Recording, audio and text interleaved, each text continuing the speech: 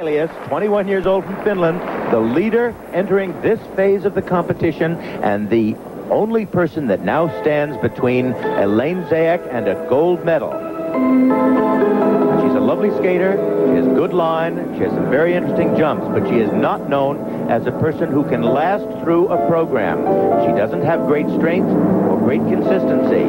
But remember, she has only to get fourth place or better better marks than Kristofix Binder in free skating, and she will hold on to her first place. That was a nice double axel, Dick. Wasn't it? Remember, the marks for Binder were not very good. Now, this is a triple Salchow coming up. Very difficult. Uh, Uh, those kind of mistakes, that's what a lot of the girls are making tonight. And Elaine has done such a strong program. but remember, Binder had mistakes too and got relatively low marks. So she still is in a position to be able to hold on to it.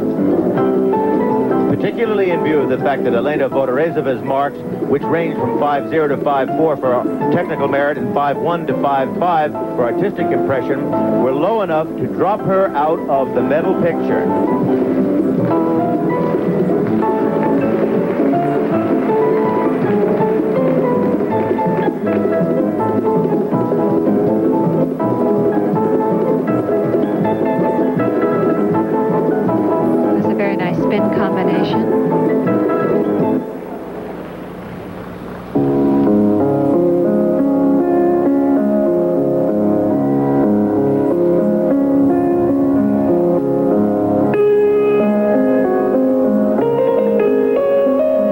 Music, of course, of the Fantasy Impromptu by Chopin.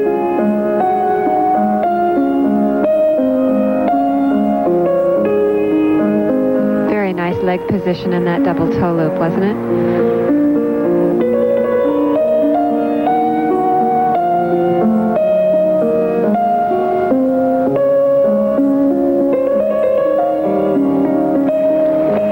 Not a very strong double axel.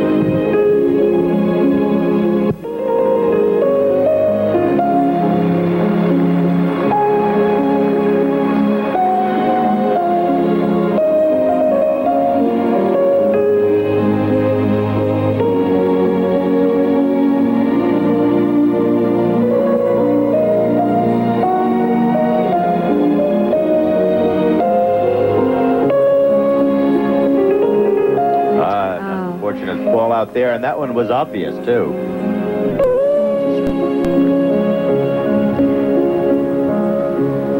You know, Dick, things really look very strong for Elaine at this point with this weak performance by Kristina Wegelius.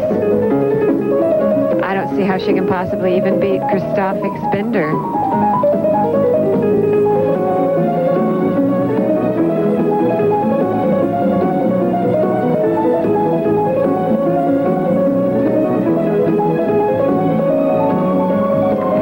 Double axel jump at the end of this four-minute routine.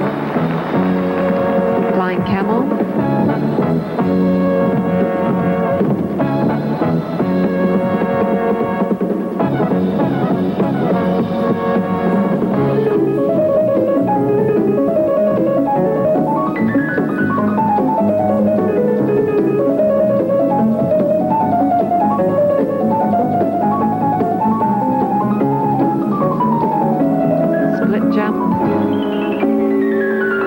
Double flip. Uh, and on that fall, I think probably was more damaging to her than all of the mistakes up to this point. For the simple reason that it was at the end of the program.